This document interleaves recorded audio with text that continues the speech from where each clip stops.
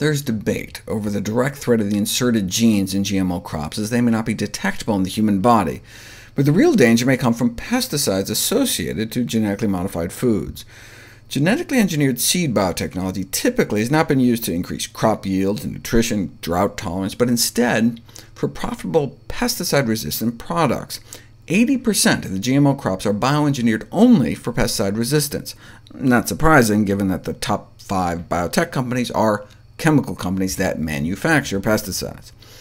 This allows farmers to spray herbicides directly onto the crops, uh, raising a theoretical possibility that the level of residues of the herbicide on food we buy at the supermarket may have increased. Or at least it was theoretical until now.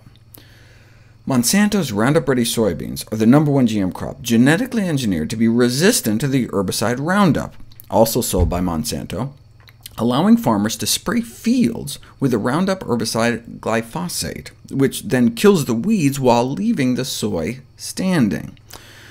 Monsanto maintains that Roundup Ready soybeans are compositionally equivalent to that of conventional soy, a concept that is used to argue that GMO foods are therefore safe as non-GMO.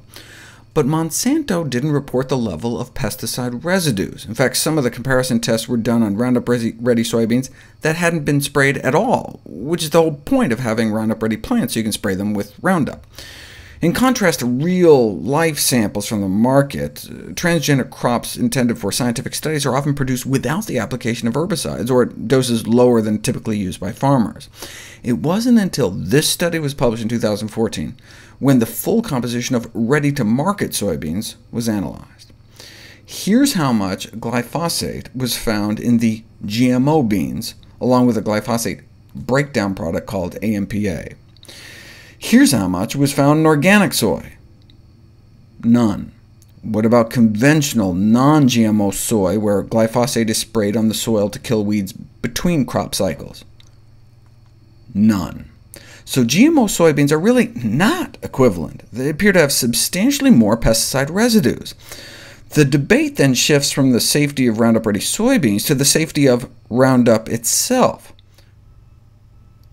GMO soy has been found to be contaminated with pesticide residues, but are these levels anything to worry about? The researchers describe these levels as high, but compared to what? Compared to the maximum allowable residue levels.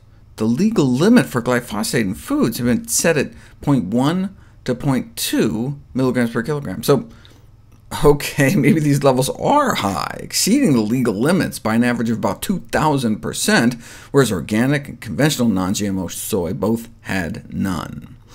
So what did Monsanto do? Did the industry ditch the whole GMO thing, uh, go back to using less pesticides so residue levels wouldn't be so high, or they could just change the definition of high? What if they could get authorities to raise the maximum residue level from 0.1 or 0.2 up to, say, 20? Then the residue levels don't look so high anymore.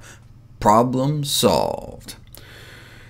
The acceptance level of glyphosate in food and feed had been increased by authorities in countries that use Roundup-ready GMO crops. In uh, Brazil they went up to 10, and US and Europe now accept up to 20. In all these cases, the maximum residue level values appear to have been adjusted not based on any new evidence indicating glyphosate toxicity was less than previously understood, but pragmatically in response to actual observed increases in the content of residues in GMO soybeans. Otherwise, it wouldn't be legal to sell the stuff. What evidence do we have, though, that these kinds of residues are harmful? For 12 years, we've heard that Roundup interferes with embryonic development. But the study was about sea urchin embryos. For 14 years, that Roundup may disrupt hormones, but that's in mouse testicles. Blogs will dish about concerning new studies implicating Roundup in male fertility, but if you look at the study, it's about rat testicles. Some blogs cite studies with disturbing titles like Pre-puberty exposure alters testosterone levels and testicular shape but they're talking about puberty in rats, though doesn't make as catchy a blog title. Why not use human tissue? Uh, women are having babies every day. Why not just experiment on human placentas, which would otherwise just get thrown away? And in 2005, researchers did just that. And despite all the negative effects in rodents, glyphosate, the active ingredient in Roundup, didn't seem to have much of a toxic effect on hu human cells even at high doses, or have much effect on hormone-regulating enzymes, leading Monsanto-funded reviewers to conclude that regardless of what hazards might be alleged based on animal studies, glyphosate is not anticipated to produce adverse developmental or reproductive effects in humans. But pure glyphosate isn't sprayed on crops. Roundup is, which contains a variety of adjuvants and uh, surfactants meant to help the glyphosate penetrate into tissues.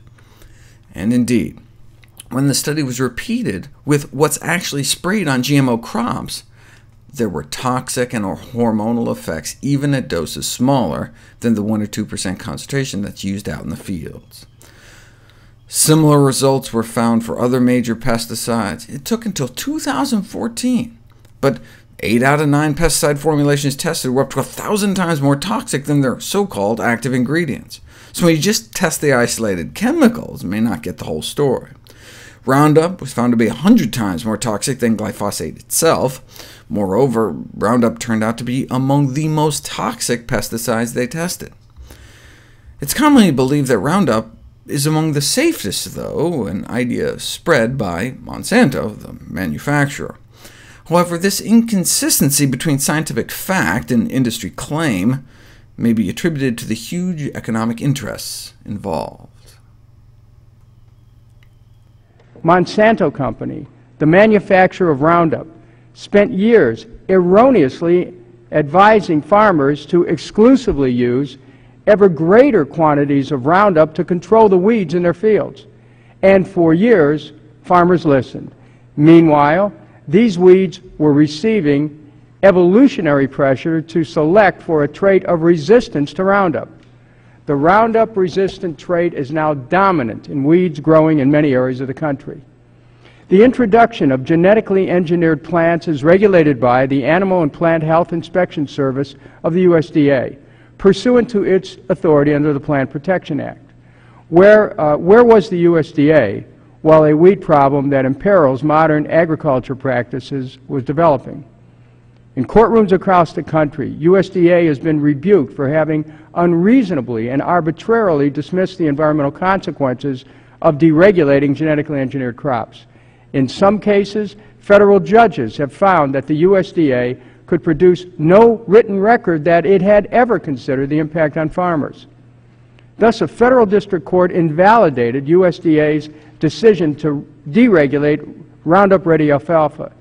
The USDA is now awaiting further directions from a federal judge before taking further steps to consider whether and on what terms to deregulate this crop. Since taking office, Secretary Vilsack has promised that the new administration would take a fresh look at biotech crop policy. But the biotech industry isn't waiting for new policy. Chemical industry giants such as Dow, BASF, and uh, Syngenta are plowing forward with new varieties of soy, corn, and cotton. They're already asking USDA to deregulate seed varieties that have been genetically engineered to tolerate their own herbicides. In fact, the evolution of Roundup-resistant weeds, while a problem for Monsanto, has been an opportunity for other large chemical companies. The immediate consequences of the deregulation and planting of these multiple herbicide-tolerant crops will be the increase in use of more toxic herbicides. Dicamba and 2,4-D are more toxic than Roundup, and their increased use can only be regarded as a setback for sustainable agriculture. In the longer term, the herbicide resistance of the weeds themselves could further change. If Roundup-resistant weeds evolved in only 10 years, uh, could, could, um, could multiple herbicide-resistant uh, weeds be far away? I'm going to ask that question again. If Roundup-resistant weeds evolved in only 10 years, could multiple herbicide-resistant weeds be far away? Indeed, several species of weeds already exhibit multiple herbicide resistance. The development of, multi, of, multi, of more multi-herbicide-resistant weeds poses a very serious threat to agriculture in the United States as we know it.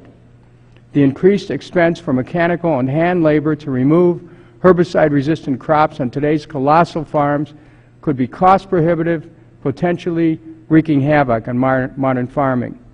Until now, the USDA has deregulated without condition every herbicide-resistant seed variety that industry has produced. Will that pattern continue in the future? Does the USDA have the legal authority to attach conditions and restrictions, or even to block the commercialization of genetically engineered herbicide-resistant crops? Will that agency use that authority? Farmers have a long-term investment in their chief asset, their land. Chemical companies operate on a shorter horizon. Nature's reaction to farm practices since the introduction and marketing of genetically engineered herbicide-resistant crops has created a temporary opportunity for chemical companies, an opportunity they will pursue at the long-term expense of the nation's farmers.